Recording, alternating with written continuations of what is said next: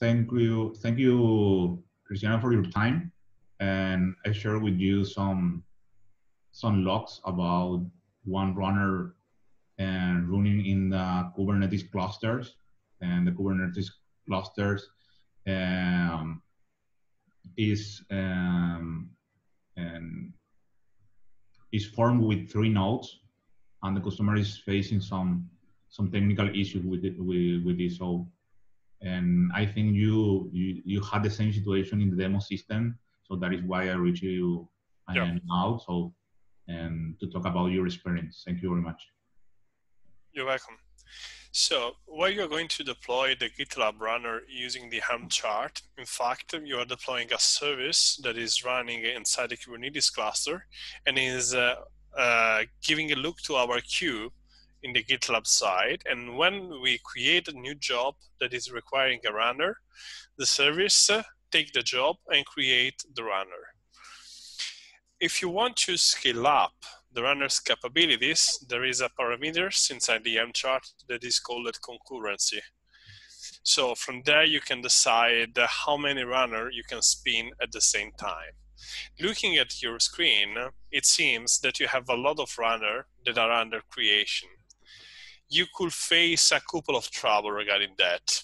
The first is that uh, you empty the number of concurrent runner available so your job is keep it in the queue and maybe you get the timeout or whatever before that the job have a, a runner available to be taken the second is uh, if you have uh, a large number of uh, concurrent job allowed for each job our scheduler we make a request to the kubernetes api creating a new deployment especially for a small cluster this could impact the API response. And uh, maybe Kubernetes uh, is not responding uh, in the correct time. Or uh, also on the node side, you could empty the resources, especially talking about small nodes. So uh, what you can do with that is, uh, first of all, monitoring the resources in the cluster to ensure that nothing is going to be to be empty you are not uh, filling the memory or the CPU or whatever. So give a look to the Kubernetes cluster itself to understand if uh, you are going under pressure for a specific resources. Second, give a look uh, to the number of runners uh, that are in a specific state. That you can use a lot of monitoring system to do that. So if you see that you are going to schedule uh, 50 runners at the same time, probably one scheduler is not the best what you can do is you can deploy more than one uh, GitLab runner Helm chart. So you will have more than one schedule, and you can reduce for each scheduler the number of job of job that they can run at the same time. In this way, the load on our side and the scheduler will be split to the different uh, uh, worker. Uh, if you are dosing uh, the Kubernetes API, in that case, you can or just uh, lower the number of concurrent job to avoid this kind of DOS, or just add the resources uh, to the master, not to the slave. That uh, where is the API layer. So this is the common scenario about that kind of situation what you can do is uh, you can make uh, uh, some try.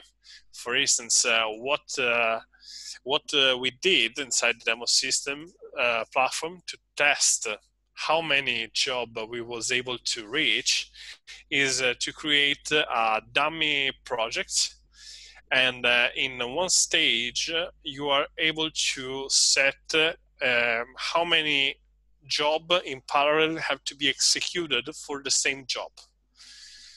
So I used the uh, locust to create dummy requests, and I scaled up the number of requests using the concurrent, uh, uh, the parallel parameters inside the job.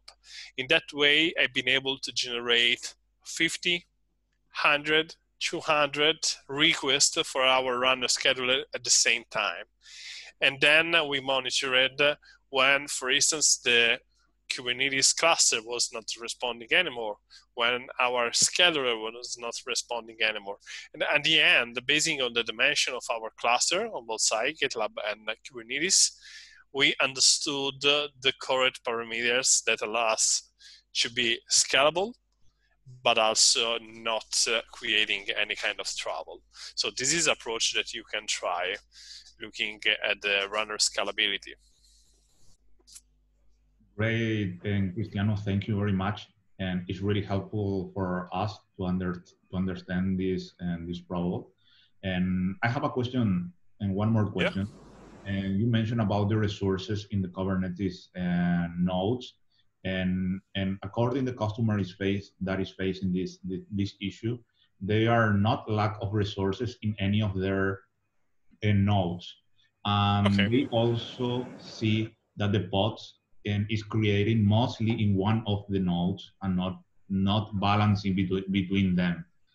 Um, do you have some some experience in, in, this kind of? Um, these really depends from the provider.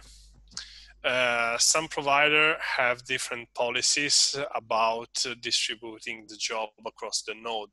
For instance, if you are using the auto scaling on the node side, maybe the scheduler is trying to fill just one node and then pass to the second to keep uh, an empty node that can be scaled down. And uh, this is not a problem it's not about that. Uh, obviously, you will start facing trouble where you feel uh, the whole cluster. So if you are not consuming the whole cluster, this is not your trouble. Don't worry about that. Uh, keep in mind that, uh, especially for cloud providers, unfortunately, usually the resources allocated to the master are not shared. So could be not that easy to understand if the master is going under pressure because uh, it's totally transparent. If you take uh, AWS or Google Clouds, you don't have information about the master. You, you can check the version, you can interact with them from the dashboard, but usually you don't know if uh, it's still responsible or not. What you can do during the test is try to make a request, uh, also just with kube control to the master like uh, kube control get deployment. And you can track if the master is still responsive, or for instance, uh, the response the response is getting a lot of time, or they just failed. This kind of situation that could happen are, are, are feedback that the master is going under pressure. Okay, great, and Cristiano, thank you very much. Um, do you have more uh, another point that we should take in, in consideration and according to your experience? No, my, my only suggestion is make uh, step-by-step a test and monitor every parameters that is relevant so that you can find the correct balance between auto-scaling and endorsing uh, your cluster. This is what we do. And this is uh, usually the, the best approach for any, any production environments. Great. And, and in case the issue is in within the API of the Kubernetes cluster that is um, in that you have a lot of requests for prop op creations that and, and never accomplished to, to, to, to finish. Um, in this case, there is some parameters we can change and within the you Kubernetes cluster. Or you low you put down the number of requests that you are allowing, like the current parameters, or you could just spin up two different cluster and use two runners uh, pool in two different cluster.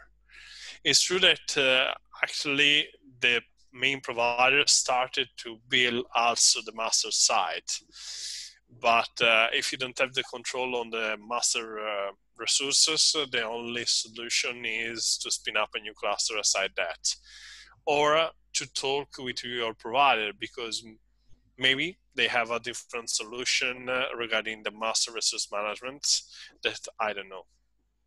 Um, great, this is a good point, um, because um, we need to to guide the customers to talk with their provider to find a solution of this. This is not an uh, a GitLab and GitLab issue is more related Yep. to the Kubernetes cluster. What I Exactly. If you if is after your test you discover that it's the Kubernetes API that is not responding, what usually you do in a on-premises cluster, you add resources or node to the masters, and in that way you balance the different requests across the different node till you get uh, you know a good level of response uh, under any kind of load. Unfortunately, this is not the main model for the cloud providers because usually master are transparent and till now they are not being billed. If you was buying a cluster, for instance, on Google Cloud a few days ago, you was not paying for the master, you was just paying for the slave. Actually, they are changing this policy depending from the provider.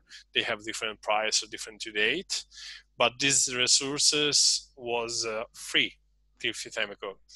Now you're going to pay that. So I can imagine that the provider will provide soon different tier of master because obviously if you have to manage three small nodes is not the same amount of request uh, if you want to manage a 15 or 20 node cluster. In general for Kubernetes, the suggestion is to don't have uh, too too big cluster because there is a lot of constraint regarding also just the network side that is uh, giving you the suggestion to keep a small cluster with small nodes. But obviously, three three nodes and 10 nodes can have a lot of difference in any way. Also, if we are not talking about 100 or 200 nodes. Great, very clear, and Cristiano. And again, thank you very much for uh, for your time for this conversation. And, and I'm sure and we are going to help customer with um, with this iteration. So, and I have no more questions and for you, and, and it's up to you if you have um, another thought to to share with us. Thank you.